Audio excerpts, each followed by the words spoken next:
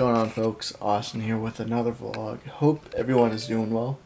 That was me, not your device. Anyway, so there's really not a whole lot of uh, wrestling news today.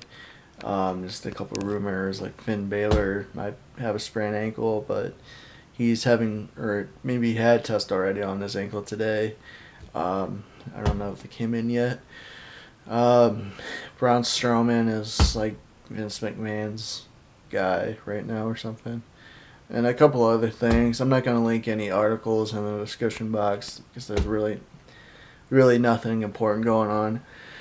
So, uh, no wrestling news. Anyway, so, um, nothing really going on with school. Just, uh, got a couple papers to write.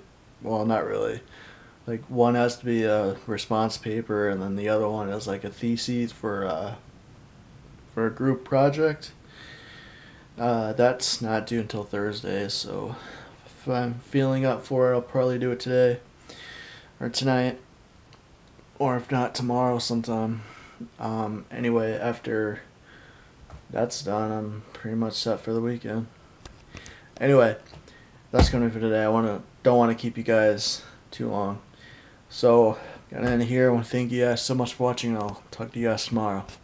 Later.